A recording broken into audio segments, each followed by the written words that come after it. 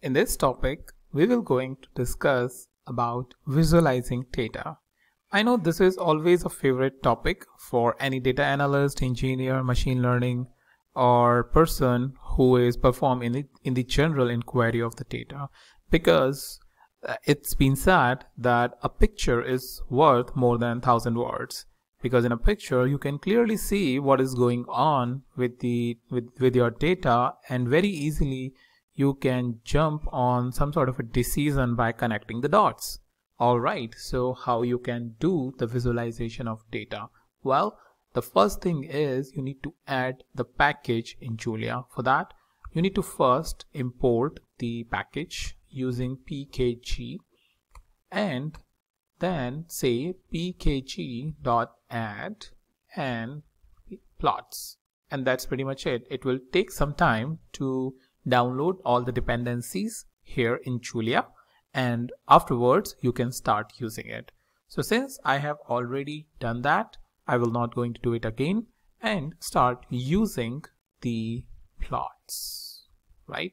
That's what we have been doing from past couple of videos. So by now you will be all well versed with the with this keyword the using keyword and first we will try to make a normal or the blank plot. So for example to create a plot the simple function is creating just the plot one. It takes some time once uh, you know we are starting up with this and then it will plot all of the different values with the different parameters very quickly.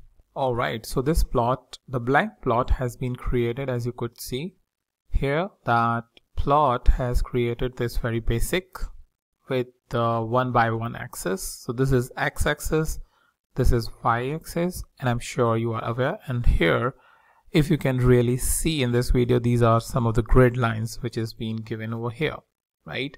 So let's plot some values into it. So for that we will take let's say x and y value x for this y for this right so we take x as 1 to 5, right? Semicolon and after that I can write or assign the y parameter or I can write it in the next line up to you. So this is another way since I have been writing in another line. This is another way by which you can do the multiple assignments of the variable. And we want the random, let's say 15 values. And when we execute, it gives us this output. So I don't want that because anyway I will going to plot it. So now I will use plot and simple x comma y. And it will give me the plot with these oops it throws an error and looks like this is having issue in accessing 5 element and uh, probably what I need is basically 15 over here just to match up with the y values. So execute this execute this and now working fine right? So just to remember about x and y values but don't worry this is mostly the uh, the made up example but in a data frame you will get proper values and we will see it in action in couple of uh, minutes. So plot x and y give you the random values which are plotted on these values. So if you see we have 15 values but we were giving only five points on the x-axis and that's why it was throwing an error. That was the basic one. All right um, afterwards if you want to add additional series like uh, for example along with this you want to add another one you can have let's say z value and uh, another random with 15 execute this. Oh I don't want the output. Shift enter and then plot exclamation sign. This is called the mutating the plot object. So that means adding the information. Plot x comma c. So y will be preserved and you are adding the z. So you have earlier we had this blue line. Now we had along with the blue line we have this particular line over here, right? So this way you can keep on adding if that's what you need uh, for your line chart. Afterwards, let's see um, another way by which you can achieve the this particular you know operation. So this is by creating an object. For example, p equals to plot x comma y, right? And then plot mutating the object, the first plot object, which is the existing plot, comma x comma c. So similar to what we have done it over here, this is an alternative way. If we execute this, we will get the similar output, right? So up to you, whatever way you want. Uh, either way is fine. I like the first way because we created first plot and then add the Z series. Uh, this one is slightly complex, but some people prefer it. So up to you what you what approach you want to follow. Okay, now let's see how we can add the title to the plot. So plot x comma y comma and as you would expect the parameter is title 2 or one random line chart right one random line chart there are lots of things that you can do with the title. I will just leave it up to you what you want to do uh, and uh, put a link to the documentation so that you maybe you want to color it you want to border it a lot of things that can be done. Um, now let's see how you can relabel this y1 doesn't make a lot of sense right?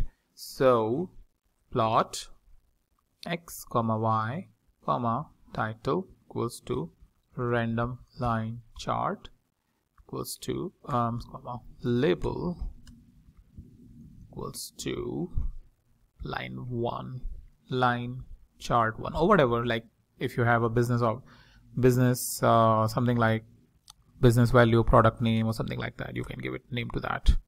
Line chart 1 but if you have more than two line chart like we have it in this case, then what you need to do is simply say within the brackets, surround this by bracket and say line chart 2 comma oh sorry afterwards comma line chart 3 and so on and so forth so if if it is single value just directly have an double quotation and provide the value. If you have more than two line chart and want to modify the value, you have to do it within these brackets. All right. So I will just remove it. This is the thing information I just wanted to show you so that you are not facing error when you are working in the real life. Now afterwards, um, let's try to change the labels of x and y axis. Um, for that, x comma y, that's our first comma x label equals to x axis label right now we don't have anything comma for y there is y label y axis label. We can you can give more meaningful based on the business condition that you have in hand. Y axis label x axis label. So this way you can modify we have seen how you can modify the title or add the title how you can add the legends or the labels. You can add the x-axis label y-axis label to make your chart more and more informative for your end user. Now let me just drag up a little bit and now let's try to create a scatter chart. So for that the function is scatter x comma y. And this will create a beautiful scatter chart instead of line chart. So this is x-axis so up till 15 values. And this is your values over here right? So this is a scatter chart. Again you can apply title x-axis y-axis and whatnot that we have already discussed. Okay next is creating a bar chart so x comma y very very easy straightforward and this will create a good bar chart for us right so this was a scatter chart this is the same representation here in the bar chart. Again, you can add labels, x-axis, y-axis or legends to it as per your needs. Then we have histogram. I hope you are aware about the histogram and we just need to pass one value which is y value because it produces the count of each value. So right now I'm not going too much in depth just I'm trying to show you the ways uh, in which you can or the functions by which you can create these beautiful charts as you could see. Now let's try to combine all of this into one single sort of a dashboard right? So very exciting. So first of all let's store these plots. So plot x comma y p2 scatter x comma y. What i'm doing is not plotting but storing the object and then i can use these objects for the for the purpose of presenting all of this information in a beautiful way like a dashboard way. P4 equals to histogram and then only the y. And now you need plot. Within the plot p1 p2 p3 and p4 now we need to specify the layout parameter what layout we want. So we want a 2 by 2 matrix. That means two charts you know up and two charts down below to it. So layout equals to 2 comma 2 so two rows two columns. And we don't want legend. False. And let's try to print it. And this is our beautiful dashboard. Isn't it looking nice right so this is very very straightforward as you could see in just a couple of seconds once we know how what are all the data points we need what are all the charts we need we can create a chart like this give a beautiful title to it and do much more to this but in just a couple of seconds I would just want to show you how you can really utilize uh, the power of visualization within the Julia. Alright, let's move on. Similar to this, how you can plot a chart on top of each other. For example, we want to create the four different line charts or four different bar charts. So what I'm doing is create again reinitializing the y variable with 10 data points with four series. So basically four different random variables of uh, 10 data points. And then I'm saying plot x comma y. I'm keeping x same. I need to write 15 probably. Yeah, otherwise it will throw an error. And then layout equals to 4 comma 1. That means 4 row and 1 column. That means stack on top of each other. So if I press shift enter, here is my four different charts, right?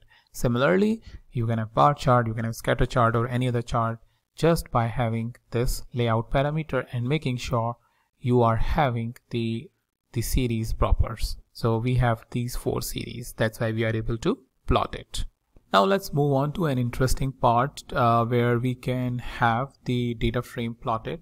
So for that, I will say using CSV to import the CSV data and earlier we have imported this iris data so I will say again we will going to work with that csv.read and if you remember we need to normalize the names. So normalize names equals to true. So once we do that it will import the iris data for us which we can then use into the visualization. All right so data is inside inside here within the Julia. And now we can have all our different charts and matrix charts over here. So for example first of all I will plot a line chart and uh, for this iris dot sepal length let's say um, this is let's say this is the only one I want. So I can just go ahead and plot this. This is how your chart will going to look like. And by default it has identified that it has 150 data points. Okay? So this is a line chart. Now let's create a bar chart. So bar iris dot species because species is the x-axis and then iris dot let's say petal length right and here is our beautiful bar chart afterwards let's try to create scatter chart and scatter is needs to have the two numerical axes. So iris dot petal length comma iris dot petal width. Okay? So petal length and petal width if I go up petal length petal width is your numeric columns. So for a scatter chart need to make sure that this is what you need. The numeric axes. So this is a beautiful looking the scatter chart which is showing us the pattern clearly visible that this is one pattern this is another pattern. Right now finally let's see quickly the histogram. And for that we will just need the one variable the petal length. We you can make it more complex but this is just for the beginner's perspective to get to know about and up and running in Julia and that's how you can simply create the charts within the Julia directly uh, by importing the data files because that's what we will be doing more and more in Julia programming once we learn the basics. So that's about it. Uh, the different types of charts, the files, the basic charts with it's a makeup made up value and uh, values which we are importing from the file like iris how we can create that visualization and use it so i hope you have found it useful and now i will meet you in the next topic